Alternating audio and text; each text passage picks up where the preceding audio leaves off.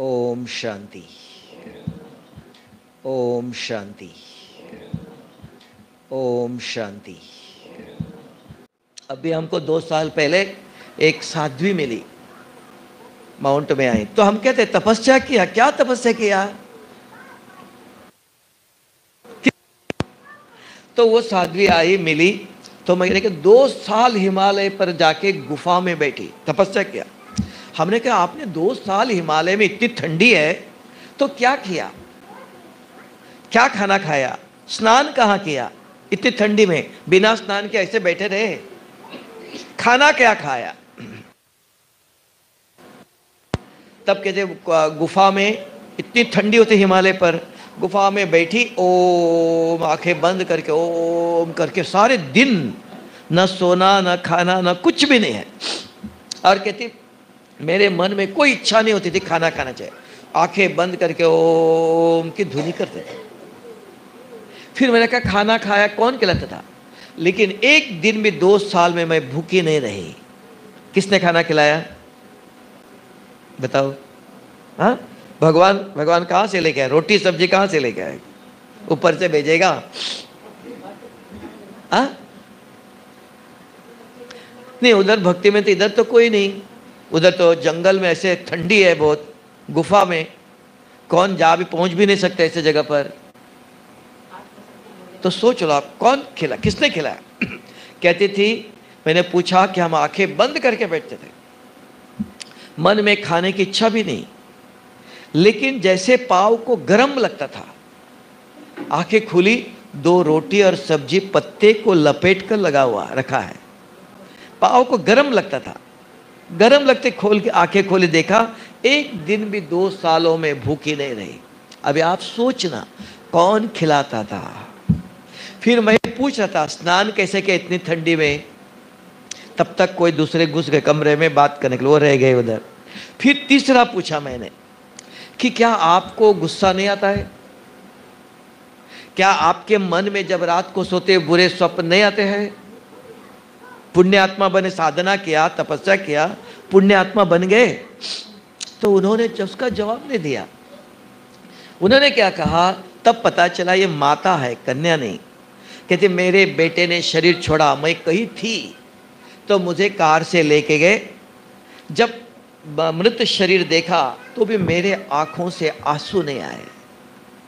इतना ही। हमने पूछा था, क्या कभी क्रोध नहीं आता है? या अंदर बुरे पाप भरा हुआ वो मिट गया, साधना किया आपने तो किसके लिए किया? दवाई लिया, किसके लिए? बीमारी मिटाने के लिए।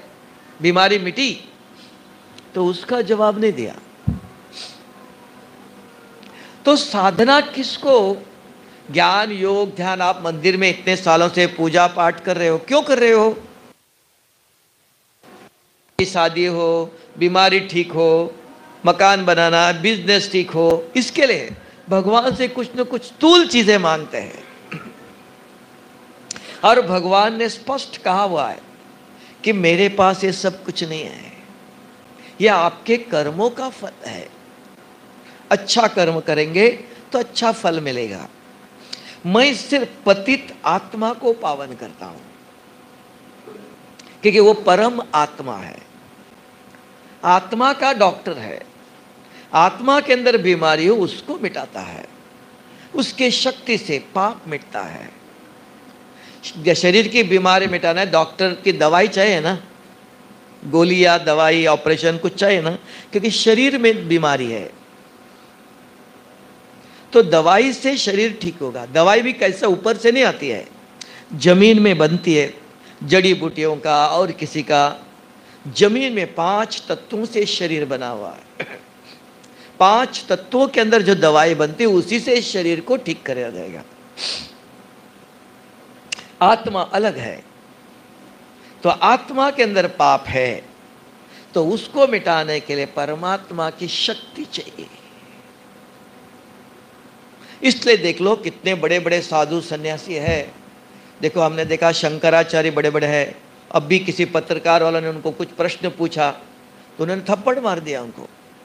इतना गुस्सा, इतना क्रोधी। तो साधना क्यों करते हैं?